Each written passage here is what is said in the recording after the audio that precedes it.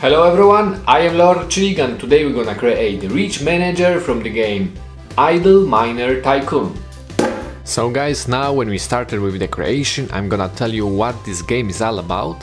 So, you are a boss of a mining company, your job is to grow your company as much as you can by creating new shafts, hiring new managers, gaining new workers and so on. As you see on my gameplay on the left, so far I have 10 shafts. I can speed the process by activating managers and basically the cash is flowing all the time even if you not have open game at the moment. It have also some other features like research laboratory or expedition but I not unlock it yet, I need to play more and for sure I will because I like this game. If you want to try it, there is a link for you in the description. The game is free and now let's focus on our creation.